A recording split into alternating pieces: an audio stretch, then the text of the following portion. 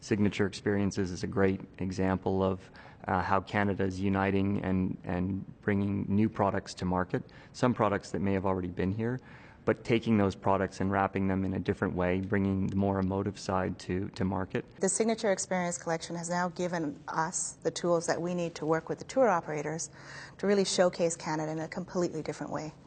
We've gone from a, a, a visit, a destination you, you visit to see things, to a destination where you visit to experience extraordinary things that you can really only experience in Canada.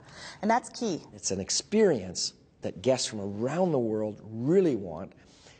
It's not to just sit there and be told something, it's for them to be part of something. It gives us uh, an angle that we can not only work with the travel trade in market, but also with the media and garner some attention around that experience so that so there's a little bit more um, to uh, just a hotel stay or just a uh, just a walk in the park. It's more about the experience that they're actually going to have. We had a couple of tour operators that shifted their product to accommodate a little bit more of, of the messaging and a little bit more of the imagery that we've developed as part of the signature uh, signature experience collection.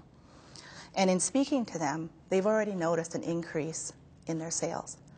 And we're not changing the product, we're changing how we showcase the product.